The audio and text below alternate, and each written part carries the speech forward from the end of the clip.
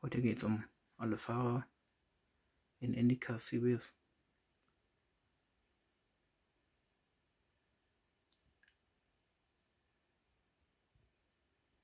Man sieht hier dann quasi jeweils ein Foto des Fahrers und hier unten ein paar Informationen.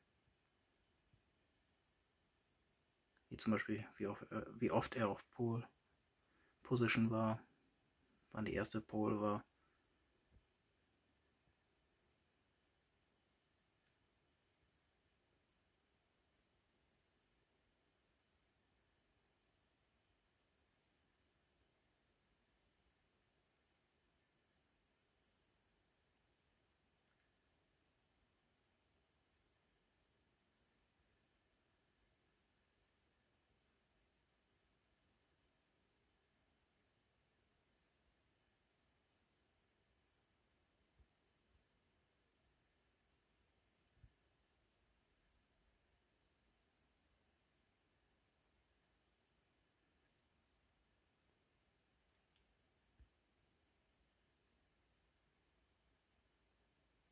Genau, und auch andere Informationen.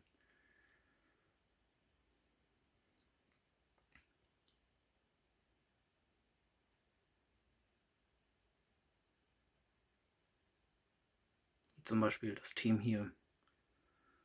Also für das jeweilige Team.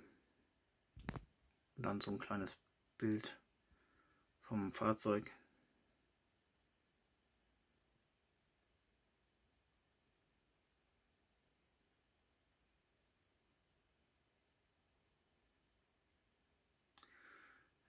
Das war's.